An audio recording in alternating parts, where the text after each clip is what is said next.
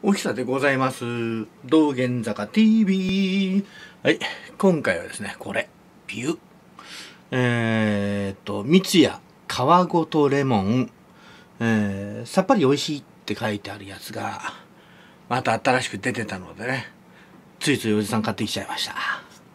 なんかいろいろごちゃごちゃ書いてありますけども、またリンク貼っときますので、そちらで詳しく見てください。まずは、お味見お味見っていうことでね。あ、あれですね。確かに皮ごとな感じの香りがしますな、これまだ。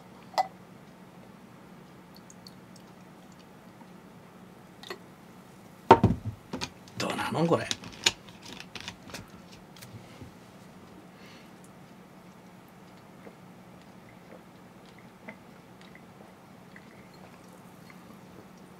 ええああ皮ごとっすな確かに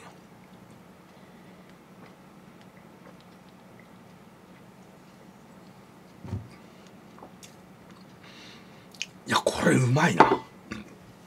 失礼ゲップ。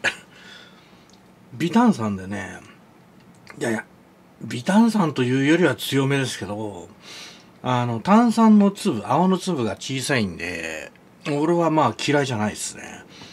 あの題名のごとく本当に皮ごとって感じです。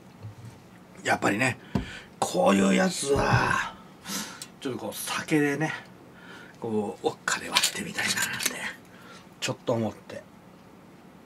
あんまりあいやまたうちのに見られて怒られたら嫌なんで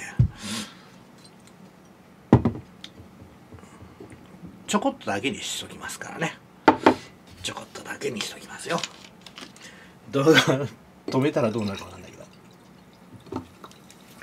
ど。まあちょこっとだけなんでこんくらいがの終わりですかね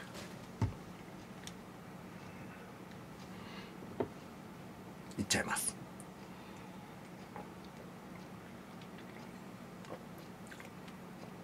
あーうめえ。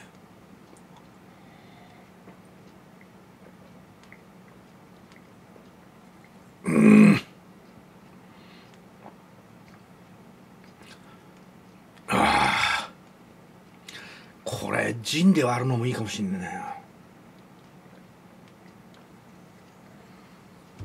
うん。これうまいっす。これね割り物として使っても本当に美味しいんじゃないかな。今のうちにちょっとこう買いだめしとこうかな。